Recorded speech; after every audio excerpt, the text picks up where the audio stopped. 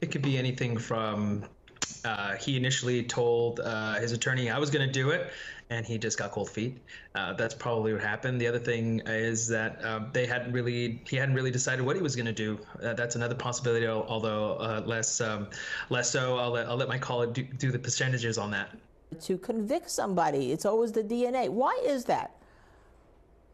Um, typically, because it's it's um, it's a foundational issue. It's a reliance on the technology. Even she did, I believe, in, in the beginning of her, of her, interview, said that um, it's it's fairly new, the science. Um, so it hasn't reached the level of other sciences that have been allowed in through the judicial system to be used to to be admissible evidence. Also, it allows um, it, it, typically becomes moot, just like we had the off-air discussion, that it, it, allows you to get the DNA of the person that is uh, the suspect. So you know, just it just leads you there, and then you connect the two, and then the whole thing is moot anyway. So um, that's typically what why you would use it, not use it. Excuse me.